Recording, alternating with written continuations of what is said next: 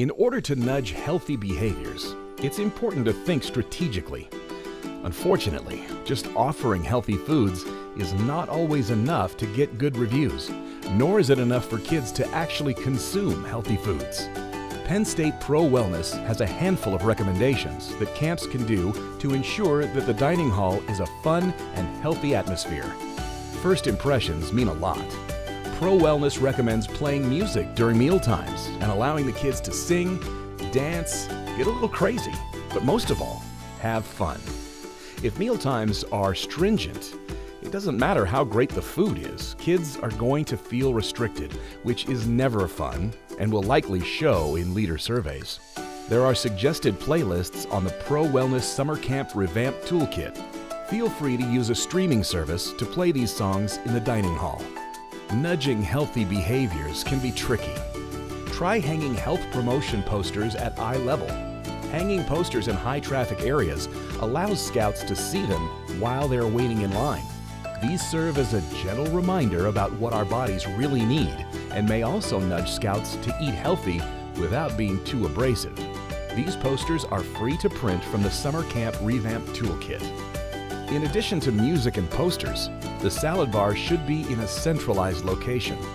If everyone walks by the salad bar, it helps draw attention to it and makes eating healthy convenient.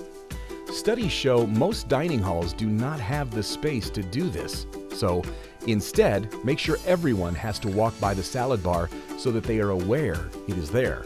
Since many camps serve hundreds or thousands of kids each meal, there are often long lines. If scouts have the option of either getting salad or hot food first, some will be in the salad line and some will be in the hot food line, decreasing wait times. Some scouts may not even want hot food, which can offload long serving lines and allow scouts more time to eat.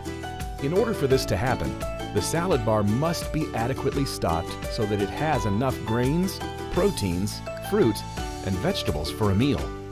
If the salad bar is full, it also looks more attractive, and the visibility of food really impacts how people think it is going to taste.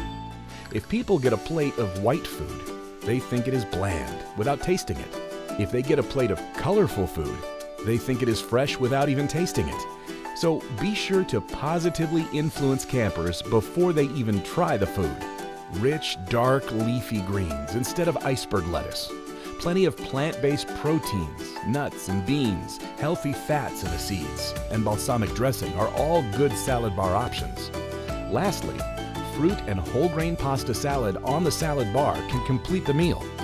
In general, the best food reviews are about well-stocked salad bars and cut fruit.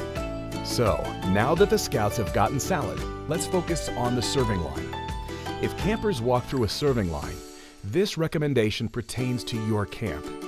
Make sure the vegetables and fruits are the first option in line.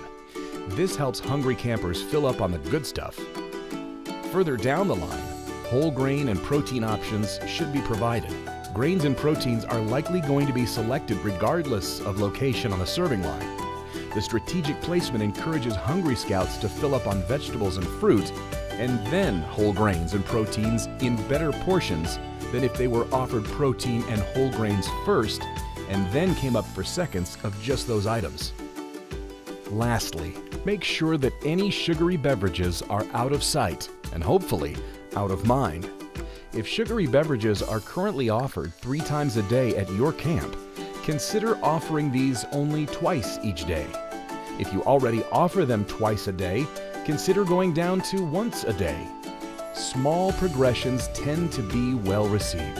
However, some camps have completely eradicated sugar sweetened beverages from the dining hall without complaints. Limiting sugar consumption during hot weather can decrease the risk for dehydration. Consider limiting sweetened beverages even more so when the heat index is high. If you still offer sweetened beverages, we hope that these sweet options are not convenient choices. Water should be the most convenient option. Consider placing pitchers of water on the table before campers arrive, or perhaps in a more centralized location. Some camps might consider investing in an attractive hydration station. If juice is available, it should be out of the way, in the back or corner of the dining hall to discourage consumption. If scouts sit down with a big bowl of salad, a hot vegetable, fruit, whole grain, and protein, or at least half their plate full of fruits and vegetables, the staff has succeeded.